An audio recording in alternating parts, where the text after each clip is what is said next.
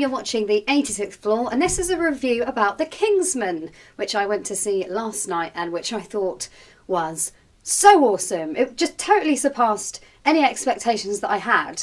I was like, I was expecting it to be good, but it was, it's just awesome. Kingsman is Matthew Vaughn's take on the Secret Service comics by Mark Millar and Dave Gibbons. It stars Colin Firth as smooth talking Kingsman agent Harry Hart, recognisable by his customary bespoke suit and iconic glasses. After losing a fellow agent, Hart and his co stars Michael Caine and Mark Strong go on the hunt for a suitable replacement. Cue Eggsy, a bit of a chav, living a life of petty crime in an inner London council estate. After a rather impressive joyride, which lands him in police custody, Eggsy meets Hart and is encouraged to become a Kingsman. He embarks on an intense and unpredictable training session in a country mansion with a load of toffs who make him feel inferior. It sounds like a classic rags to riches story, but don't let anything or anyone in this movie fool you. If you get blood on the carpet, you have to take the carpet up. If you are the kind of person that really likes gadgets and spy films, this is perfect. You've got everything, including poisonous shoes and um, a ring that electrocutes people. All the characters are awesome. Taron Egerton, who plays Eggsy, is like, he's just totally the boy that every other lad wants to be and every other girl wants to be with. Um, Colin Firth, don't even get me started. He's like a cheese. He just gets better and better with age. He just gets more tasty with each new role and each year. Um, he's insane. He just, it was like he was born to play this role. Colin Firth finally puts the embarrassing scuffle with Hugh Grant in Bridget Jones to bed by wowing us with so many amazing fight scenes the one in the church, I don't want to give too many spoilers away, but the one in the church, you'll know what I'm talking about when you've seen it. He just goes mental. Like, didn't know he had it in him, you know?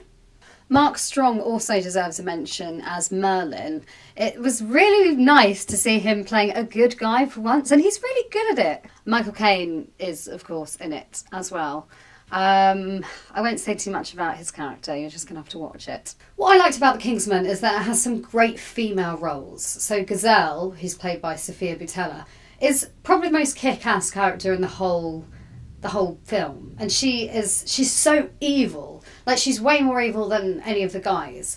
And um, she can move way better as well. Like her her prosthetic blade legs are just they're horrible, they're insane. It's nice to have a sidekick who's a woman and is so much cooler and more badass than the actual villain. Samuel L. Jackson's character is just so ridiculous that it ensures the film never takes itself too seriously. It's never that bad, you know, like even even, you know, all the killings and stuff that happen, it's just like, it's fine. So Valentine's plan to take over the world is like a cross between the Janus virus and Utopia and the rage from 28 days later, if you can imagine. It's quite insane.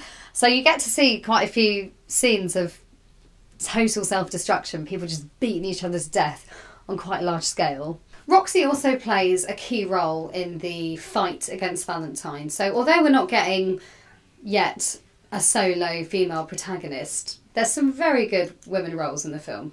Kingsman is a bit like what Guardians of the Galaxy did for Marvel, but only for the British spy thriller. It's really refreshing and it just it just doesn't take itself too seriously, which is great. It's just fun to watch. You can go and watch it with anyone. You'll never get bored. You never have to think about anything. It's non-stop fun and I can't really fault it. I think the only thing that didn't need to be in there is um, a really just a really immature exchange between Eggsy and a Norwegian uh, princess at the end. It's just a bit. It just it didn't need it. We'd love to know what you thought of the film. So if you've seen it, just comment below with your opinions. And uh, don't forget to subscribe to our YouTube channel for more videos like this.